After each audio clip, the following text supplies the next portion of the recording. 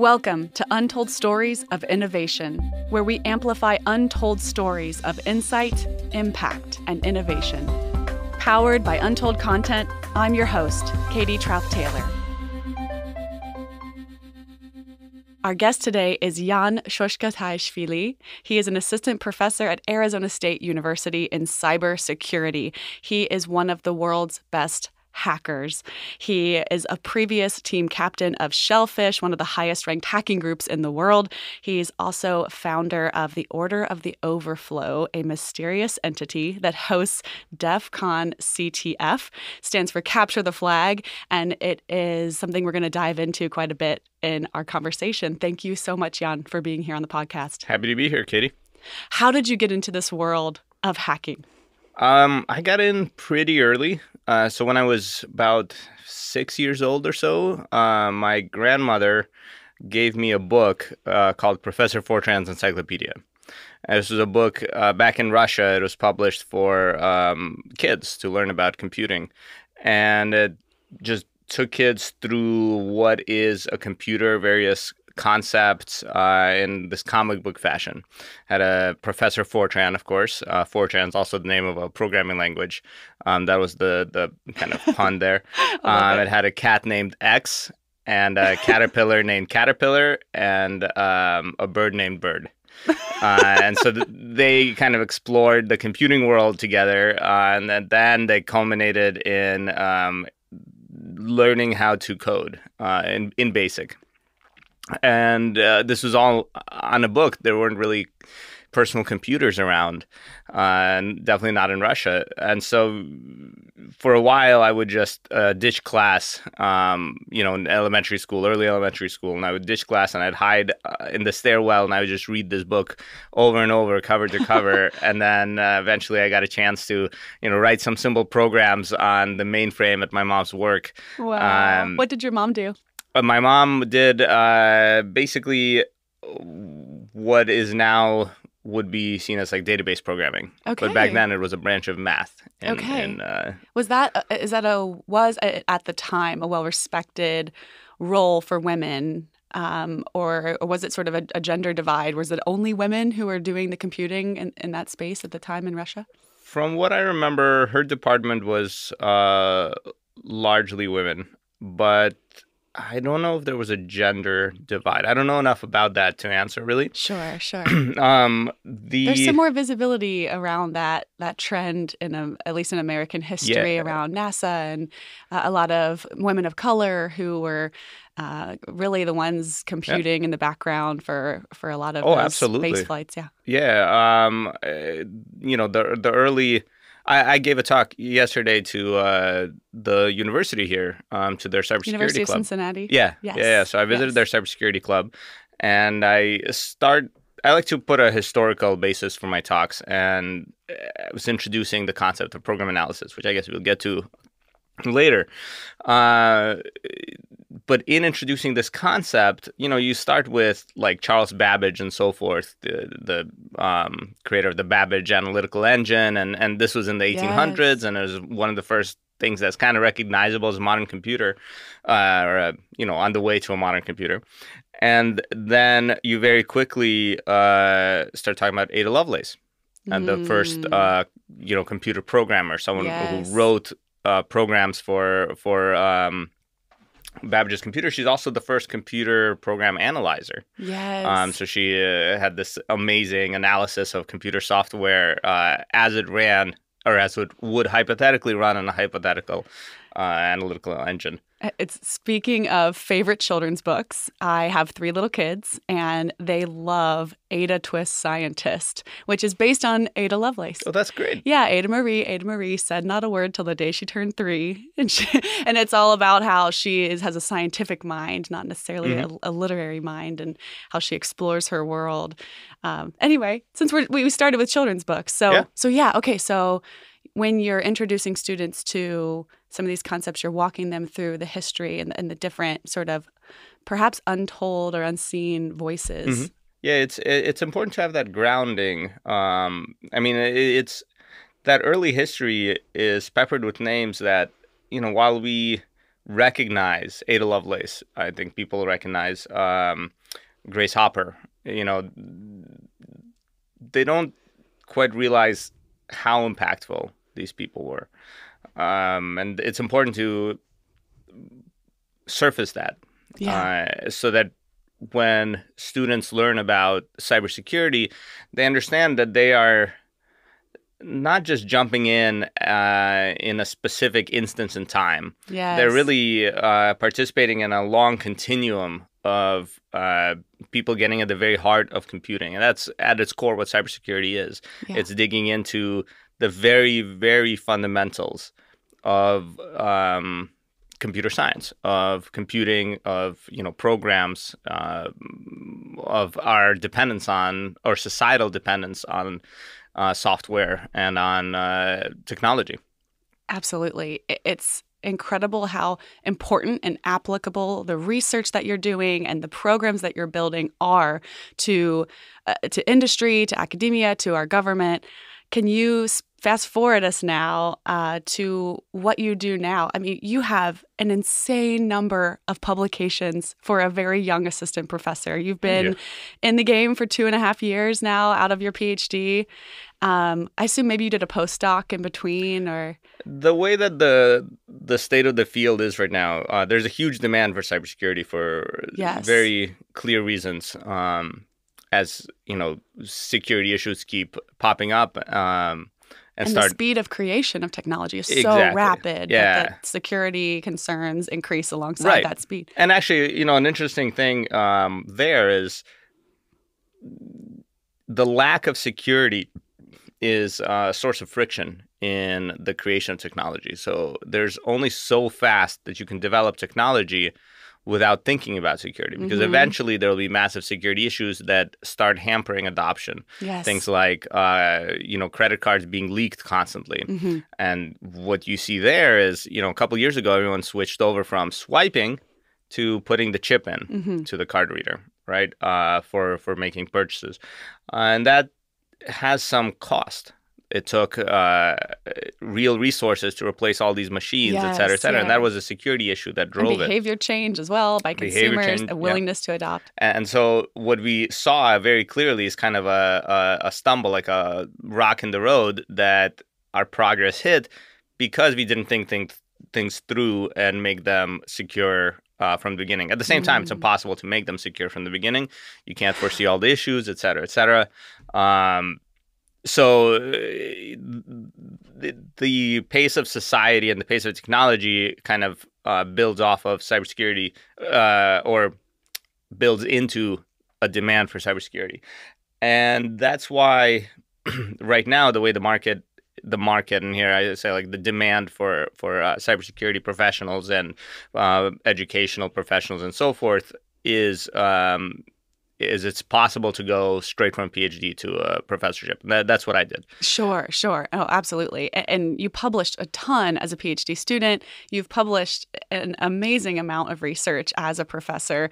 Tell us about some of the work that you do and some of your uh, favorite sort of innovation stories around uh, your work. Sure. Um, so we do a wide range of research um, with a very clear kind of area of specialty.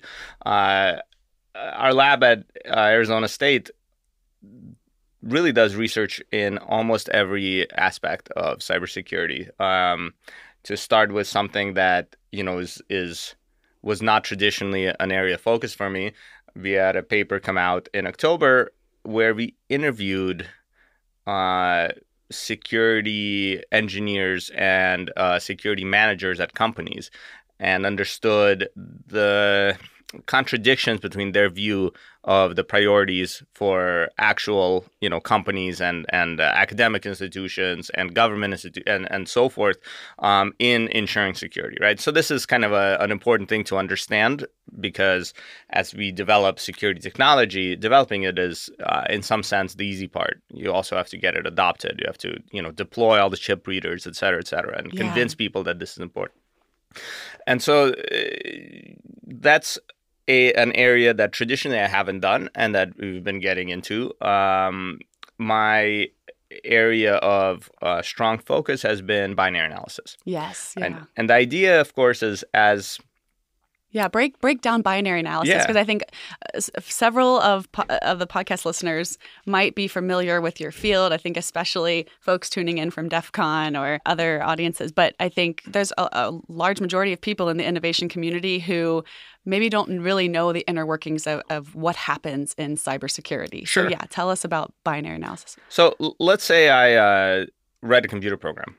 Uh, I sit down and I uh, open up my development environment, or you don't need a development environment to write software. You can open up uh, Notepad and write software in Notepad. Um, you don't even necessarily need something that advanced. but I sit down and I write a computer program. Traditionally, in the early 90s, let's say, uh, when I was writing my first programs, when you write this uh, source code, you know, you you type up a file that represents what a program should do, and then you use what is called a compiler to translate that into machine code, ones and zeros that a computer understands. so much of what you do takes um, I mean, the amount of knowledge, not just historical knowledge, but mathematical knowledge, understanding of computers in terms of their infrastructures and methodologies to approach them. Um, how do you translate the critical importance of your research to funding entities to industry partners, to people who may not have that same expertise. Um, yeah, I'd love to know more about the kind of storytelling tactics you find yourself using. I, I love some of the metaphors you used when you were just describing it to me as, you know, PhD in English. You're in a, you're a PhD in computer science. We sort of speak different languages, but Sure. um, but yeah, what what storytelling techniques do you find yourself using? What do you think is most important? So for me, the the important thing is to convey um, how I feel about the subject. Um, so when my grandma gave me that book, uh, it wasn't just informational; it was uh, like opening a whole world, Yeah, right? So you you're reading about a world with very simple rules, right? Uh, a CPU works in extraordinarily simple ways Mhm. um, I mean, there are a lot of complexities, especially in a modern processor, uh, out of order execution, a lot of uh, memory caching, et cetera, et cetera. Hmm. But really, from a very high level, it's extraordinarily simple. It pulls in bits, it interprets some of them as what to do, and some of them as what to what data to use while doing it, and then Mm. it does it. Um, but somewhere, at some point, between the physical components that a CPU is made up of, logic gates and and, and wires and and etc. And the computer program, there's some magical shift that happens at which point we say that is a computer because you don't say that about a calculator, yeah, right? right, right. Um, You don't say that about. Uh, I mean, modern calculators, of course, are computers, but you don't say that about like a, a simple um, circuit that will add two numbers. The concept was really explored academically by Alan Turing um, back in, in you know the, the the middle of the last century, um, and there's this kind of Turing barrier that a computer that that that essentially defines when something that's not a computer becomes a computer. That's how I think of it. Okay. That barrier is magical. We don't really understand uh, philosophically, deep down inside. I feel there's a similar divide between that, between a non-computer and a computer, as there is between a computer and a human. Right. So in in the push for AI, we are also facing this concept of at what point does a very very smart machine become sentient. And and and and there's no real yes. answer even philosophically that we have. In in a smaller way there's a similar uh, question in in the uh, step from not computing into computing. To me that point that that threshold is, is there's some magic there. And and the reason i do binary analysis is that is as close as you can get to that threshold hmm. from the uh, the other side, from the computing side. Yeah. Uh, that's like the very core of computing is what is happening in your CPU, right on that level. Where if you go any further, it's just a bunch of logic gates. Right. There's there's no magic there to me. And then but but you step back across the threshold and suddenly you're talking about a machine that can emulate entire worlds uh, where people spend you know dozens of hours playing or something like that. Yeah, yeah, yeah. Um, so I try to convey that. Uh, in fact, I teach my courses um, from a very, from that uh, very base level, like um, bases and the, the very underpinnings, uh, the, the the foundations. Um, that's why I talk about the history of this. That's Mhm. why um, one of my uh, classes so I teach this uh, kind of hacking course essentially, where I um, teach students the various specific security issues that can occur at the binary level. Mm. Um, and I start out with this is what the binary level is. So, from the student perspective, one, I try to um, imbue this appreciation for for this this area for for computability for for computing, right? And then you have to go further. You have to uh, make them passionate about hacking as well, about cybersecurity. So then, uh, from a certain perspective, you could view, and for a very long time, society did view hackers as purely, let's say, a nuisance or or you know renegades. yeah, something. Yeah, right. Um, and you see, saw this in, in as we established our early cybersecurity laws. Uh, the first DEF CON I was at, actually, there was a uh, security researcher that was talking about a flaw that he found in um, a certain document protection method, and he gave his talk on stage, uh, of course, and, and to, to whatever the, the the crowd at DEF CON, and then he stepped down and he was arrested right there. I was so this is a burning question Mhm. that I have about your field, your work. How do you make the decision on what to share, what to publish, what not to share, whether to reveal your identity or not if you're doing this kind of work? Right. Uh, there definitely are anonymous security researchers, for example. Right. There are even anonymous security researchers in that show up in academic work. Um, I, I've read a paper Fascinating. um, that w- where the author list, of course, we have you know, in academia, authorship is our our kind of uh, currency essentially. yes, right? So yes. so you have your uh, your author list, and and one of the names is literally anonymous Ah, right and that's. Yeah. uh, really interesting because uh, there's you know as as you said in the beginning uh, you looked at my publications and those publications are my uh, google scholar profile or whatever Yeah. because i'm an author on there and then and and and that do, do you have effect. any anonymous publications? uh, i wouldn't i wouldn't admit to that but, um, anonymity has to work both ways in order to work. you have to yeah, uh, yeah. you have to uh, not be able to tell from the publication to the person, but also from the person to the publication. but um, But yet, tell us how this this this term, this hacking. uh, You know, today I think hackathons are very popular inside innovation communities. I see them. We see them all the time.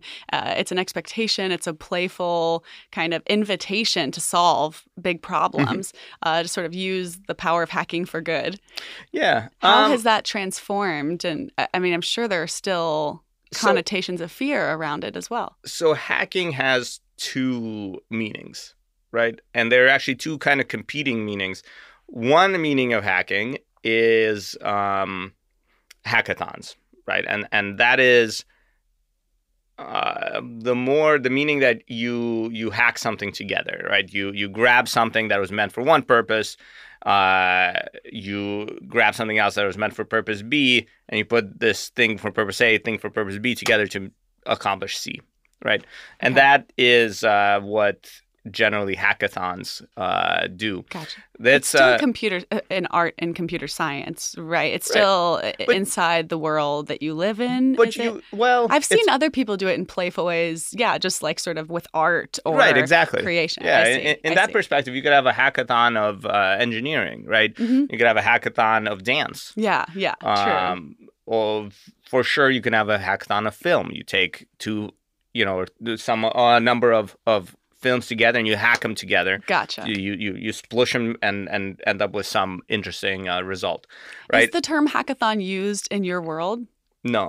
Okay, okay. So we operate on the second level of hacking, the or the the second meaning of hacking, and that that is you know, um, when you hack into something, yes, right? So that is yes. penetrate you the take- system. yeah, you take something that is meant for purpose A, and by uh, approaching it in a way that it was even possibly explicitly intended not to be used, you turn it to purpose B.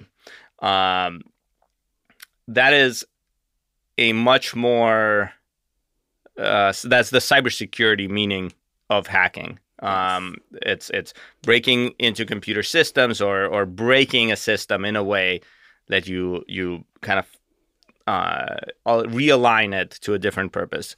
That could be you know breaking into uh, you know some large companies. Um, credit card processing system to turn it into a credit card harvesting system right, right, and, right, and so right. forth Again, Um, the powers of good or evil. right Do, do you teach ethics in your Yeah, programs? Yeah, we, we every class has to have at least a, an ethical component, um, uh, or really should have an ethical component, right? Mhm, mhm. Um, these are kids we're teaching, and Mhm. sometimes they uh, don't think things through. Um, so you have to be very explicit. There's neural pathways are still deepening. yeah you have to be extremely explicit I, i've seen in in the area like of, of of cs not necessarily in asu um kids do something stupid and get expelled and and uh, sure, sure. really uh, set back their their uh, success like that Well, and Um, even some of the most famous founders now, like Zuckerberg,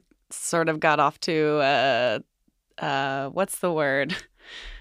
I don't want to say a rough start because it's also kind of the thing that proved his capability, but you know, hacking into Harvard's system at the time. Right. Uh, so yeah it's it's it's a balance right? You you want to you need a net to kind of catch these kids and and and make sure that you know they don't get thrown in jail. Um it's the same reason like you have universities running their own police departments right and at, when i was a college student i was outraged that you know the university is uh, somehow i felt this was an oppressive thing right but then I realized that the university police departments, in part, exist so that they can uh, kind of slap you on the wrist without this being a, bigger a problem. bigger problem. um, and and we have something like that in in academic cybersecurity, right? You you have you know you have the kid that breaks into your grading system and. Uh, Has this happened to you personally? As a It hasn't- well, yes, actually. So um, I, I recently created a platform for That's cybersecurity incredible. education. Did the student get an A? Uh, yeah. Um, so so here's what I do. uh, actually, in part to to teach this this ethical hacking lesson, um, I created a, a system that um, kind of underpins my course. It is a practice makes perfect based uh, concept where um, as I teach um, concepts of uh, binary security, it generates um, programs specific to the student and and um, or like customized so no two problems are the same, uh, utilizing these concepts so that people uh, have to exercise uh, what they learned in practice Okay. right and we you know the, the course i teach right now my main course has uh, like eight or nine modules going from this is how you use the command line on a, on a modern computer to um, this is how you break into the um, what's called the kernels the the very core of your operating system you know and and, and all the steps in between um, and it it's run on this uh, cloud-based system where students can connect. It'll auto-generate a challenge for them. They can solve the challenge.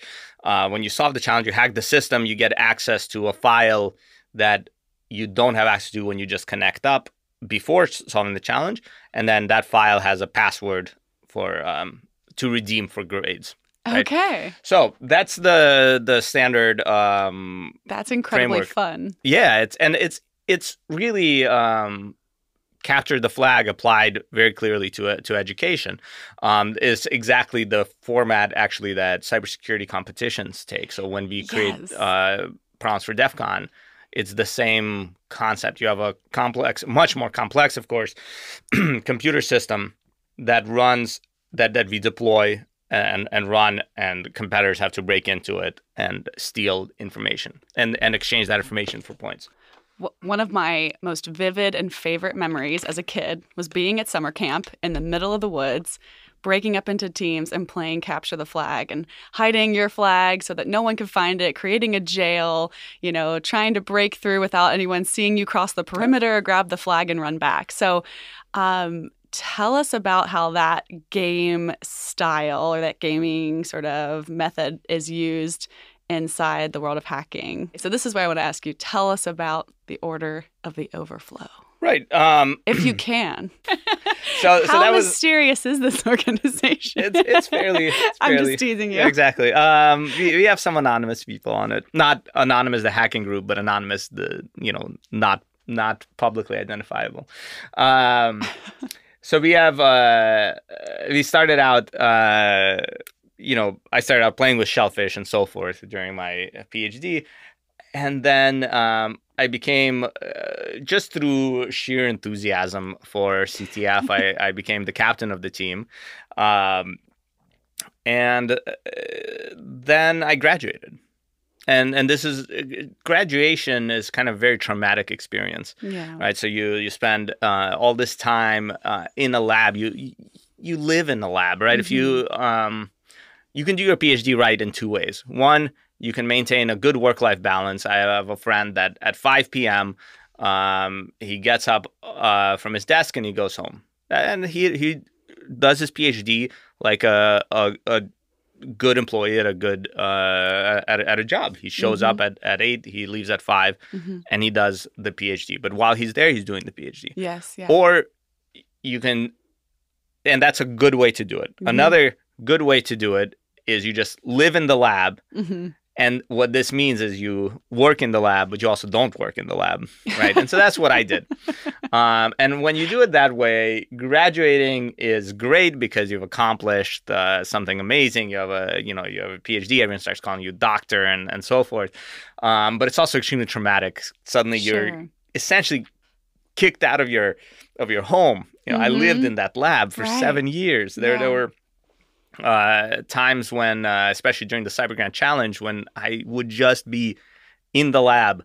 20 hours a day literally Yes, and then i would go home and i'd sleep for four Yep. you know Yeah. um and and and uh you know i i passed on the torch of of uh, captaincy and Shellphish um and i was at uh, Arizona State, trying to kind of train people up in, in hacking there, um, along with my awesome colleagues, of course. Um, and then this opportunity came around, and that the organizers of DEF CON CTF retired. Organizers retire roughly every five years or so. Um, it takes a lot to run, and you really want to maintain uh, freshness, right? Mhm. So you get fresh, enthusiastic people every five years. hmm That's great. So the organizers retired, and there was a search for organizers. And I thought, I want to do this. This I is want what to. my yeah. life has been working exactly. this point. Exactly. This is uh, this is incredible. So so there was this choice between you know just continuing to to play with Shellphish, operate at the height of the of the um, hacking world uh, as a participant, or move into that role of an organizer, Organizer, of yeah. a of, of of the uh, person pushing and, and and guiding the field. Yeah. Um, and I felt that that was a very good role from an academic perspective too. Yes, right? absolutely. It really models how you've described the way that you learn to embed values and teach students and mentor students into this field. So it's it's kind of neat to see your transition from PhD student into professor also kind of transformed how you engage at DEF CON and the, the impact you make there.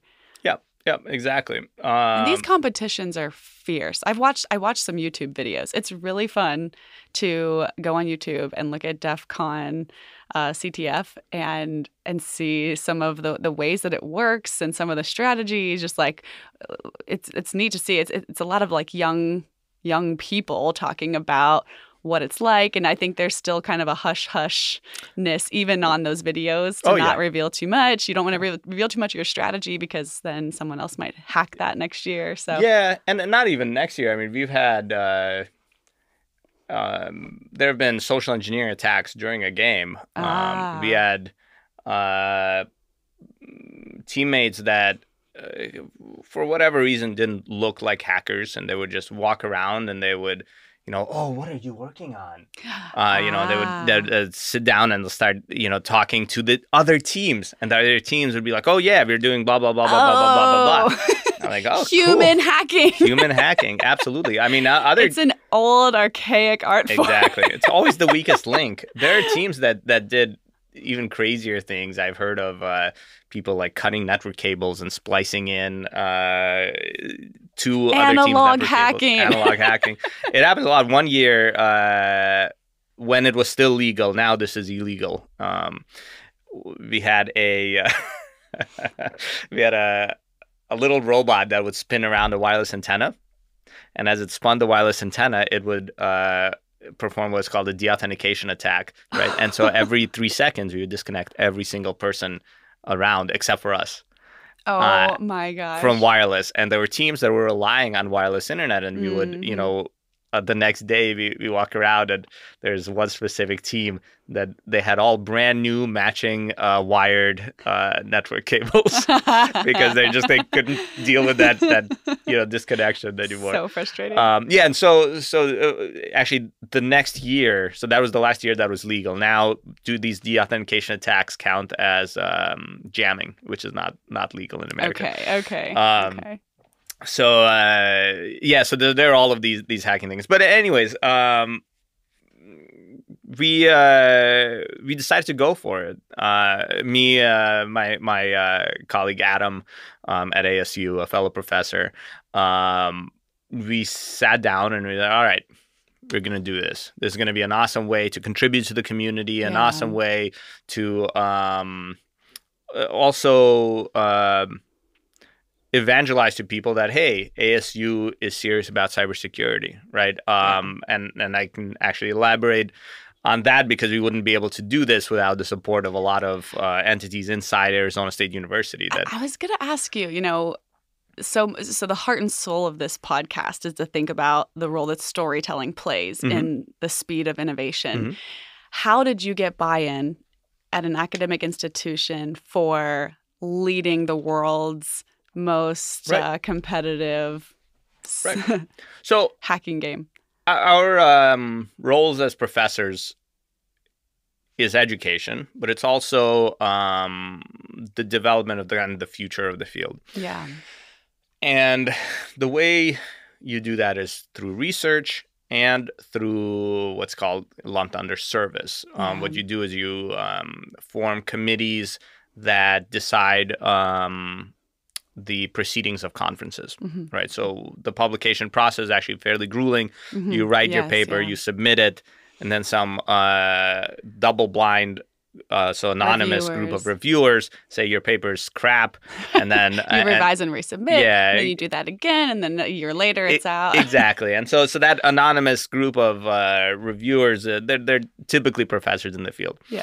um and we um presented this in a very similar way to the university we said look we want to push forward the state of the art of applied cybersecurity hmm and we want to do this because it'll demonstrate that what we're doing here at asu is really leading the field Yeah. right? And so suddenly you have uh, not just publications coming out of it, which is awesome, not just real world applicable um, prototypes and tooling, which we also uh, try to focus on uh, at ASU, which is awesome, but you also have this event, this very unique uh, thing that is kind of the, the world championship of hacking Yeah. and ASU can help make this a reality. And Mhm. the amazing thing about ASU is uh, it's it's so ASU styles itself as the new American university, and this um, originally meant uh, a difference in approach to um, admission, right? So ASU actually tries to admit as many people as possible. We're, I think, the only university whose uh, demographics exactly match the gram- demographics of the state of Arizona, right? So, Wow. so minorities and Yes, and and, yes. and uh, so forth. Prioritize inclusivity. Yes, exactly. Uh, extreme ex- inclusivity. There, there are students I have that are brilliant that could only go to college because um, because of ASU, right? Which is which is super Yes. cool. Um, and it's it's it's challenging on on the face of it. Uh, a typical university, they they actually want to be exclusive Right. because also part of the measure of uh, university rankings is how few people you admit, how low your Mm, admission rate is I right? So, so the lower the admission rate, it's not the only measure, of course, Right. but it is a measure. and it uh, impacts your overall score. yeah. Yeah. Yeah. yeah, and so, so it- it's it's a different approach, but but as part of this uh, reevaluation of what it means to be a university, um, ASU also has looked at what is the the place of a university in its society, Mhm. right? And and this is, I think, a perfect opportunity to show what place a university can take in a society um, by by helping lead this event. And the event is, I mean, incredibly complex uh, to organize. I mean, it, it I can't even imagine. It's and and not just even deciding how to structure the game itself, but Yeah. then recruit. Yeah. Yeah, I mean everything. So you have um, just in, insane amounts of complexity. I think DEF CON CTF, just the CTF, takes something like one hundred fifty thousand dollars a year to uh, to run, and um, DEF CON the conference. How many hours do you think collectively for oh, the th- organizers? and that's not counting the hours. That's not yeah. counting the yeah Um, time. collectively for the organizers, uh, we basically don't exist for um, the month of uh, July, June, and May. right? It's just it's just we don't exist. Yeah. Um, yeah. we take uh, April uh, kind of off. At the beginning of April is uh, the qualifying event. Right now, we don't exist. We're just preparing the qualifying event, right? Like Uh-huh. it's it's and there's uh, about a dozen people on the order of the overflow, It- and they're not all ASU. It's just uh, Mhm. me me and my Yeah. my colleague. We have uh, a couple of students. Um, um, at ASU, uh, and then uh, uh, there are these uh, kind of mysterious other individuals. Um, How do you collaborate virtually on it's- something so important without the fear of getting hacked? yeah, it's. I mean, what I like to tell people, which is completely false and, and just just bravado, is is we are the people that people should fear. You know. so uh, I, I have students that are nervous to go to DEF CON, and they're like, ah, Yan, I, I don't know if I should take my my my, my laptop. I don't know if I should. Uh, like, no, don't worry. You are who they should be afraid of. Uh, but um, you just that should of be the slogan for Yeah, exactly. Who they should be afraid of. exactly at some point you you you just just say you know you only live once just yolo it all the way to, to, DEF CON. DEF CON. so that's that's how we collaborate um yes, yeah, yeah. It's really, it's so incredible. I, I'm thinking, uh, you know, just a couple of takeaways as we wrap up are you got buy-in from the university by aligning that work with the overall mission of Mhm. the organization. Mhm. That is applicable to innovators or hackers within industry, within academia, within anyone who's operating inside of any kind of culture or organization. Figuring out what the mission is and making sure there's alignment in how you're pitching Yeah. that possibility and that idea. but you also need um the institution so there are two parts of that there's the kind of uh, innovator so to say like the the person that is making the pitch to the institution but there's also the institutional part um and we got really lucky again at, at ASU. We had the institutional part. Um, it's uh, yeah. uh, many different parts of ASU helped out. Uh, the the kind of core one is um, what's called the Global Security Initiative, GSI, um, and it's a s- part of ASU whose goal is to increase the real world cybersecurity security in general but this in this of course cybersecurity uh, impact of, of our research and our work at the university I mentioned DEF CON CTF takes uh, about $150,000 a year to run. Uh, over half of that, DEF CON the conference, um, uh, actually uh, uh, provides. So you know things like hotel rooms, admission to the conference sure. that that adds up quite a lot. Uh, but there's things like servers, uh, things like um, food Yeah, for, sure. for the organizers, uh, et cetera. That that uh, costs quite a lot as well. Um, and uh, ASU managed to, you know, somehow find funding for this. So that that's been incredible. yes, Um, yeah, definitely. so what I would say to to that comment of that that innovator takes two to tango, kind of right. So you have the the innovator needs to um, align the, the the mission and and show how uh, this can move forward, but you need to either have an institution that or an organization that uh, will meet you uh, in the middle, uh, or you need to make that uh, place within your organization. I love that. I love that advice. Do you have any other advice for you know, for for professionals or young professionals or students who want to become hackers? Do you have advice in terms of how they can communicate that desire, how Yeah, I guess I'm just curious if you have advice for them as they also figure out not just the art form of hacking, but the communication that's involved in doing that well. Yeah, uh, that is a very good question. Uh, there are three things I would say. One is um, to keep in mind that the world isn't just cyberspace. Uh, one of the biggest uh, limiting um, factors I would say that I see is people that focus 100% on the virtual um, and forget that they live in, in meat space, right? And with Yeah. you know with other people. Uh, Shellphish wouldn't have been the biggest, uh, you know, the longest running, the the coolest CTF team if it wasn't for a collection of individuals that weren't just proficient hackers, uh, but were also proficient human beings, right? So, you know, my Yeah. advisor is, is a great example of this. Um, he's uh, super capable of creating this social environment that allows Shellphish to thrive as well.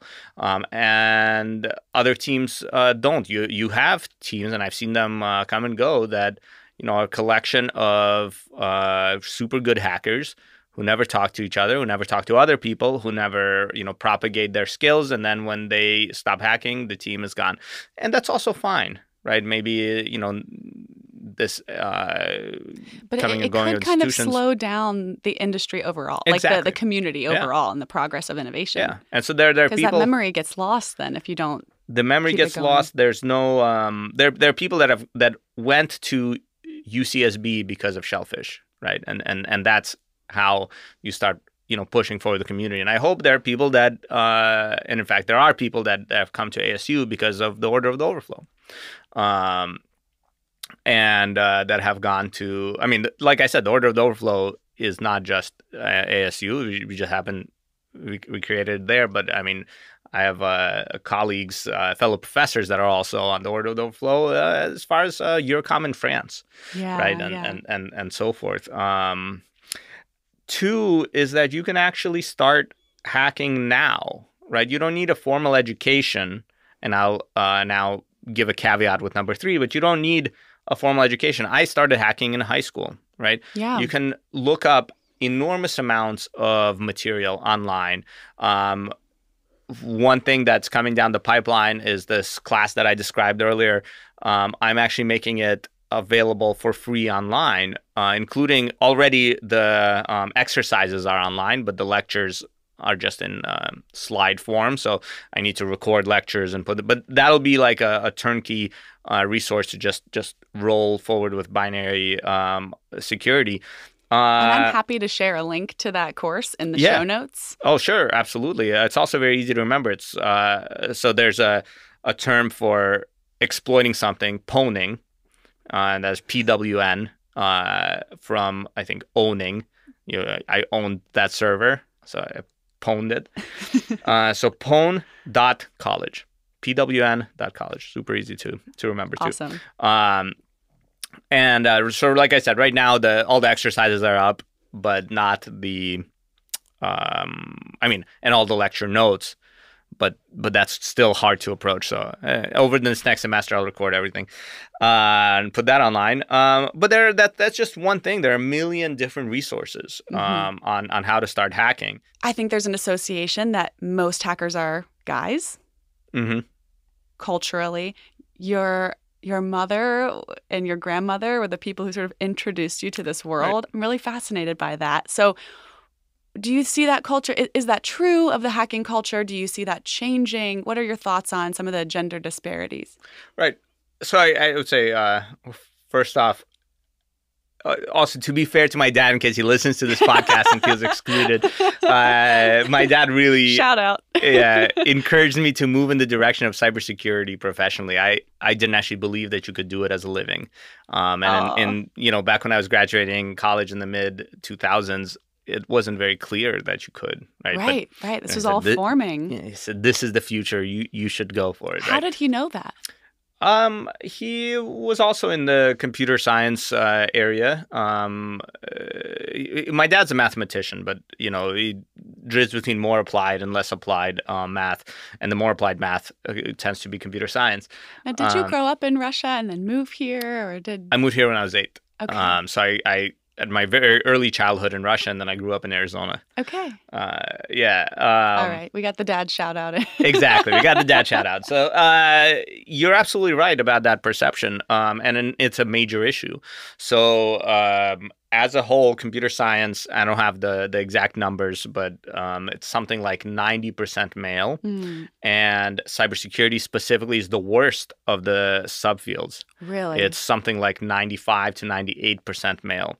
In the entire competitive hacking community, let's say at, let's say at DEF CON CTF last year, uh, there were probably so there were 16 teams that made it to finals.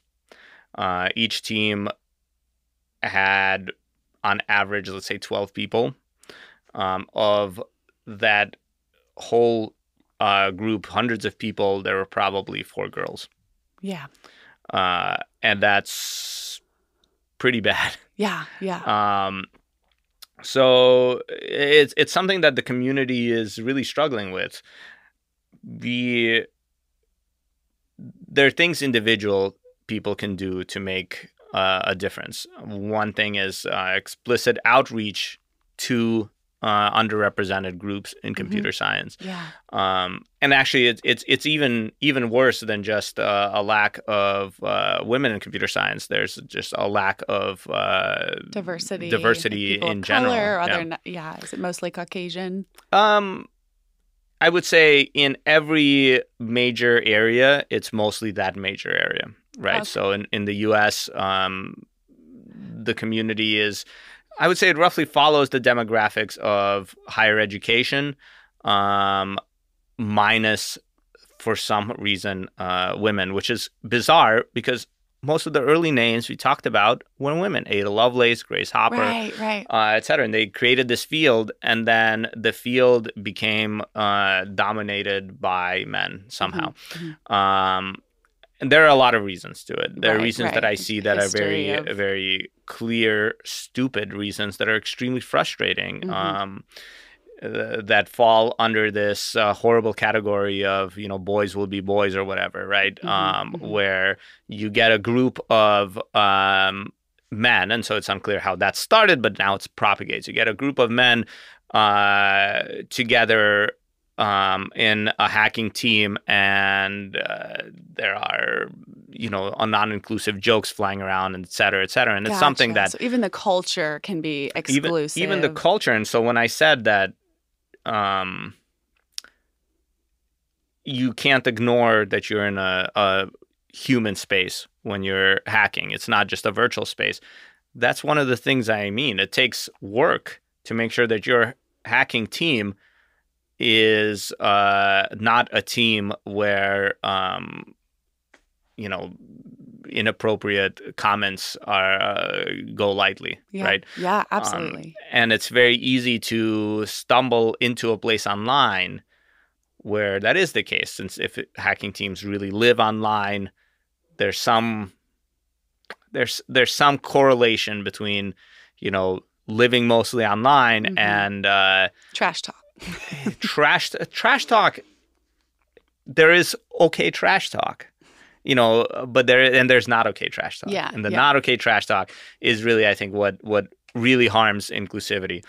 Um, and honestly, just just that makes a big impact. Yeah. I think at ASU, um, in our group, and I, I should have these numbers, but I don't have them off the top of my head. In our group of roughly uh, 50 researchers, let's say, we have something like eight or nine um, female computer scientists, Mhm. right? That is unheard of numbers in cybersecurity, Yeah. right? I would say out of the big labs that I know of, Mhm. and I don't know the exact makeup of every big lab uh, in the world, but out of the big labs I know of, we are probably the most gender balanced. That's eight or nine out of fifty. I mean, that's horrible, Right. right? But for for computer But science as a whole, it- yeah. Yeah. yeah, almost twenty percent is is Yeah, crazy high. Yeah. So do call yourself a hacker. Yeah, abso- absolutely. Don't don't wait for someone else to Yes, put that badge Yes, on. I think that's true for all innovation. Um, Yeah. So for me as a writer too, do call yourself a writer. Yeah. If you sit around and, and wait to be awarded an Yes. award or be published in your perfect journal, that's not uh, Exactly. Yeah. yeah. I think it goes for everything, and goes for for hacking. Uh, absolutely. Um, I started hacking in high school with with no uh, real formal uh, training or anything. I had a, a an awesome uh, high school computer science teacher um, who And your introduced mom me. too. Yes, yes, and and my mom, and then my grandma, and, and so forth. In terms of Your the, grandma was also no, she gave me that book. my, gra- my grandma's a mathematician. Uh, well, that's pretty close. but yeah, exactly. Um, and and and, and you know, I I was I just kind of rolled forward on my own, and you can totally do that. There's uh, there is some magic, but it's magic that no one understands, not even the experts, right? So you just you just that. start start pushing in. Um, the third thing I would say, and you can kind of see it from my trajectory, is I was able to start on my own, but I wasn't able to finish the the the trajectory into uh, Yeah. being a hacker on my own. For that, I needed to go to graduate school. Um, and what I would say is if you are out there and there was some excitement that you had about computing, um, about hacking, or even about just anything to do with computing, and this applies to any field really, Mhm. and you kind of lost it, or you it, it, it it's it's a little elusive as you're you know uh, finishing up uh, your undergrad and, and looking at the real world, or you're at the real world and uh, you know looking at your nine to five. Um, think about grad school, right? Uh, at ASU, we're always looking for students. Uh, in fact, with the the demand in cybersecurity, everyone yes, is always looking for students, but there are these uh, institutions that are very um, committed to this real world um, applicable uh, thing, um, like ASU, right? One thing that we have, and th- I, I don't mean this to to be like a sales pitch. Uh, what I started at Arizona State is an apprenticeship program. So if you are interested, just shoot me an email. We have basically an open program where we bring promising people in for a research apprenticeship. Awesome. Someone reaches out and they say, "Hey, I want to know what it's like to do cybersecurity research, to um, compete in CTF with top hackers." Uh, my students still play every CTF. Uh, I play every CTF that's not a well, not every CTF, but I play CTFs that aren't DEF CON qualifiers because that's conflict of interest otherwise. um, and so you can you can shoot over this email, and we have programs where you basically come in for six months. You're paid as a graduate student, but it's uh, low risk. Uh, you just try to understand what research is like and if it's good for you, and then if it is, then you can apply to grad school. That's great. So how how can listeners get in touch with you? Uh, Yan S Y A N S at asu.edu or um, What You- social media are, are you on? Social media? Uh, yeah, much? mostly Twitter. Yeah. So if you uh, want to get a hold of me, um, Zardus at Twitter. Z A R D U S. Awesome. That's my um, uh, hacker handle. Yan, I am so excited about everything we talked about. I think that the innovation community is hungry to know what's going to happen next in cybersecurity. It's a top innovation industry. I uh, it's really cool to hear all the underworkings and the sort of playful culture that exists within it. I think that's a really unique uh, aspect of that particular industry. And so, thank you for Yeah, being absolutely. on the podcast. Happy to be here. Thanks for listening to this week's episode. Be sure to follow us on social media and add your voice to the conversation. You can find us at Untold Content.